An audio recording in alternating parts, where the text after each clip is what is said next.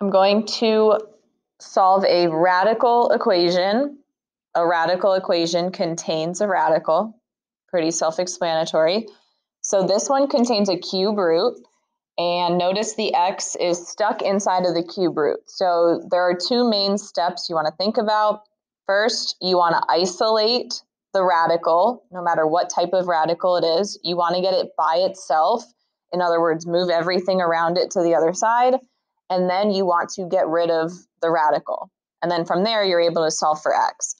So if I want to get the radical by itself, I just need to subtract 1.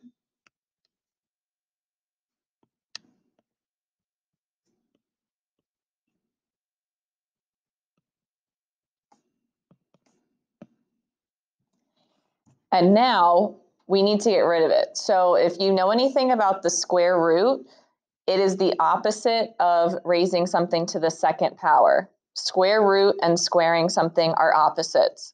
So I don't know how much practice you have with it, but if you try to get rid of an exponent of 2, you would take the square root. If you are trying to get rid of a square root, you would square it.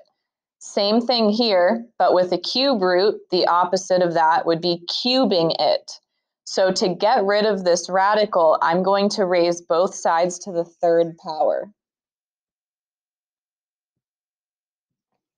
What happens is the cube root and the cube cancel each other out, so I'm left with whatever's inside, which in this case is just 3x minus 4.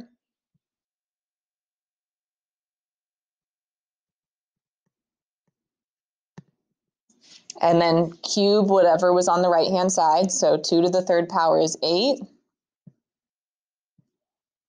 And I trust that you can solve for x here. So if you want to pause the video for a second, go ahead and solve for x. When I solved for x, I got 4.